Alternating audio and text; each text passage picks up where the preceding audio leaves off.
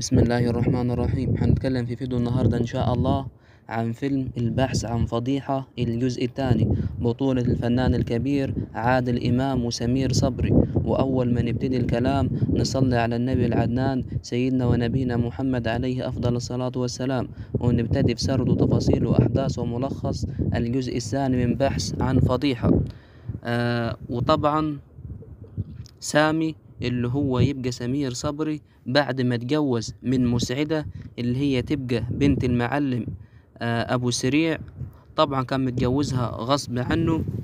فلما اتجوزها في يوم من الأيام سامي في منتصف الليل كان عنده دور برد شديد جدا. فكانت درجة الحرارة عنده مرتفعة جدا.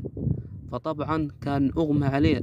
فطبعا مسعدة فضلت تعمل ليه كمادات على راسه لغاية لما درجة الحرارة انخفضت عنده. ففضلت مسعدة لغاية الصبح وهي تعمل ليه كمادات وكانت صاحية. فطبعا آه سامي لما شاف الموقف ده بدأت من ناحيته ناحية عاطفية تجاه مسعد مسعدة مراته. فبدأ يحبها لأنها كانت بتحبه جد آه فعلا. وكانت بتوفر ليه كل مصادر سعادته. فطبعا حبها سامي وأنجب منها ولد وسماه يوسف. وطبعا بدأت حياته آه حياة سعيدة هو ومراته مسعدة. فبالرغم إنه هو متجوزها غصب عنه إلا إنها هي اجبرته إنه يحبها. وف وفعلا كانت بتحبه وهو كان بيبادلها نفس المشاعر ونفس الشعور. حتى مجدي صاحبه اللي هو يبقى عادل إمام هو ومراته حنان استعجبوا بإنهم إزاي وصلوا لدرجة الحب دي كلها رغم إنهم كانوا متجوزين غصب آه رغم إن سامي كان متجوزها غصب عنها.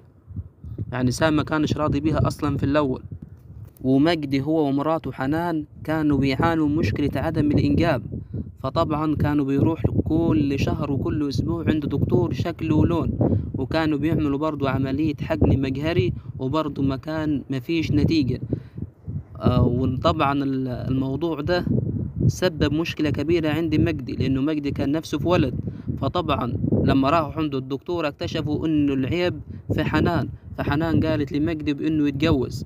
فطبعا رفض مجدي بإنه يتجوز وقال إن شاء الله نصبر وتتعالجي وإن شاء الله تخلفي. فطبعا كانوا بيفضلوا كل يوم يجروا على الدكاترة شكل ولون. وطبعا الموضوع ده كان بالنسبة لمجدي كان مكلف جدا ولكن والد حنان كان بيساعد مجدي في المصاريف اللي بتصرفها بنته في الدكاترة. وفي يوم من الأيام المعلم أبو سريع اللي هو يبقى والد مسعدة مراد سامي في يوم من الأيام حصلت ما بينه في البلد اللي هو اللي عايش فيها في الأرياف حصلت ما بينه وما بين عيلة تسمى عيلة وهدان. حصلت مشكلة كبيرة ما بينهم على قطعة أرض والمشكلة دي أدت إلى عيلة وهدان ضربت أبو سريع بالنار. فطبعا مسعدة أول ما عرفت بأنه أبوها اتضرب بالنار طبعا مس... آه راحت جابت أشترت مسدس أشترت بندقية آلية وضربت بيها عيلة وهدان ووقعت منيهم اتنين ولكن الحكومة مسك آه قبضت عليها. فطبعا المحكمة الجنائية حولت أوراقها إلى فضيلة المفتي وتم إعدام مسعدة. وطبعا جوزها سامي كان حزين عليها جدا لأنه تركت ليه ولده يوسف وهو كان بيحبها جدا. وعيلة وهدان آه في يوم من الأيام خطفوا يوسف آه ابن سامي علشان ينتقموا من اللي عملته أمه وقتلوا يوسف ابن سامي. وسامي طبعا جن جنونه وقرر إنه ينتقم من عيلة وهدان. وهو ورايح ينتقم منهم بالسلاح بدل ما أول ما ضرب عليهم نار هم ضربوا عليه كمان. وللأسف الشديد سامي أتصاب بطلقة في صدره. وطبعا لما جات على عربية الإسعاف والحكومة نقلته على المستشفى. وفي المستشفى مجدي راح يزوره هو وحنان في خلال أنفاس حياة في خلال أنفاس حياته الأخيرة سامي وصى مجدي بإنه يخلي باله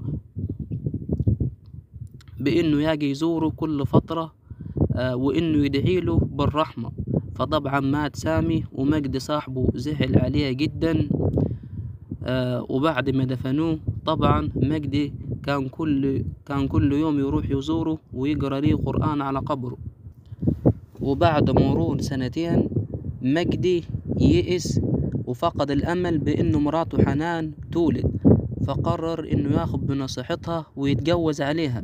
فطبعا كانت موافقة حنان وطبعا هي أختارت ليه عروسة واتجوزها مجدي.